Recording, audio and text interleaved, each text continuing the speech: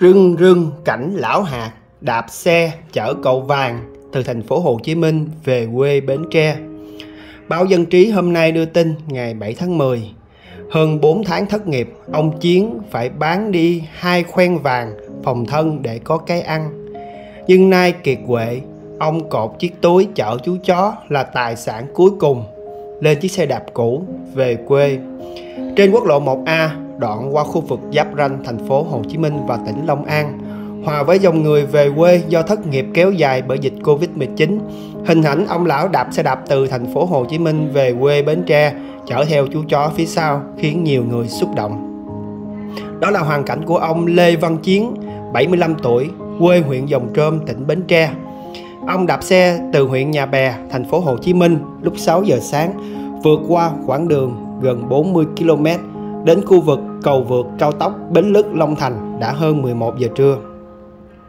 Ông Chiến cho biết ông được một người bạn rủ lên thành phố làm bảo vệ cho một trung tâm dạy lái xe ở huyện Nhà Bè đã 9 tháng qua nhưng thu nhập không ổn định do dịch Covid-19 bùng phát.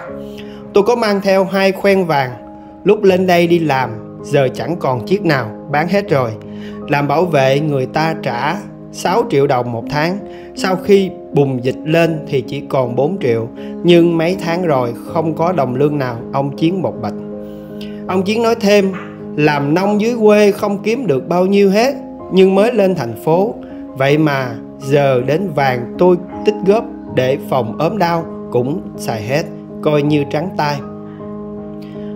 Con ông Chiến cũng khuyên cha nên về quê vì hiện tại không thể lo được cho ông nó biết tôi đạp xe về quê chứ, Nhưng nó cũng bất lực.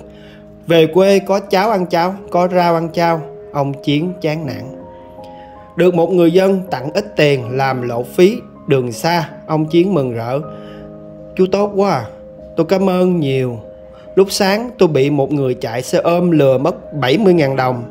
Có 70.000 đồng mà người ta cũng lừa, Thì chắc người ta cũng khổ lắm rồi, Tôi cũng không giận. Tôi chạy dọc đường gặp nhiều người cho đồ ăn nên cũng không lo, ông Chiến nói giọng lạc quan.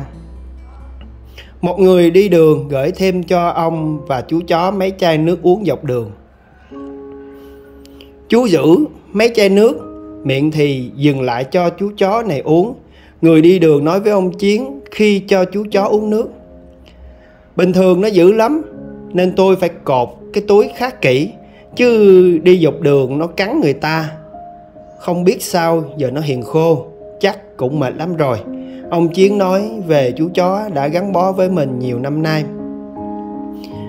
Với mấy gói mì này là có thể lót dạ về đến cầu Rạch Miễu, tỉnh Bến Tre. Nước uống thì chắc xin dọc đường Ông Chiến nói khi chuẩn bị tiếp tục hành trình. Hơn 12 giờ trưa, ông Chiến đã qua đến địa phận huyện Bến Lức, tỉnh Long An. Từ đây về đến nhà còn hơn 60 km từ từ, rồi cũng về tới nhà. Không có gì phải vội. Quê tôi có 100 km thôi mà. Nhiều người còn đi xa cả nghìn cây số. Giờ chạy xem có chỗ nào sửa xe đạp Nhờ người ta làm giúp. Cái thắng này Và cái cây chống xe. Cái xe nó cũng già như tôi rồi, Ông Chiến chia sẻ. Mình cũng xin kết thúc câu chuyện hôm nay tại đây. Hẹn gặp lại các bạn trong bản tin tiếp theo. Thân ái, chào tạm biệt.